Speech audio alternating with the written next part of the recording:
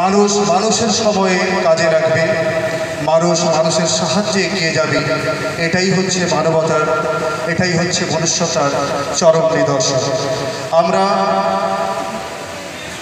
আমার মামা সম্পর্কে জাকির মামা একটু আগে বলছিলেন যে পাঁচ প্রতি বছর যেন এই ধরনের অনুষ্ঠান একটা হয়। প্রতি বছর নয়।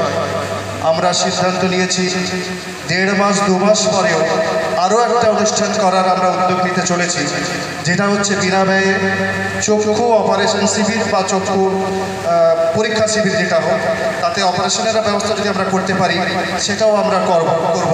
এবং সেই কাজে আমরা তাদের এবং বিশেষ করে আমাদের মাননীয় শ্রী মৃণালকান্তি দাস মহাশয় এবং উপস্থিত সকলের সাহায্য সহযোগিতা কামনা করব, যাতে সমাজের মাঝে আমরা এইভাবে সমাজ সেবার কাজে ব্রতী হয়ে যেতে পারি।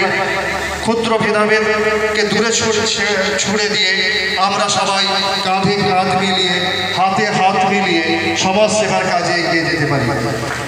আপনারা সাথে থাকবেন, আমরা এগিয়ে যাব। আপনাদের উৎসাহ আমাদের ভবিষ্যতে পথে চলার পাথেও হয়ে দাঁড়াবে। আমি এবারে অনুরোধ করব আমাদের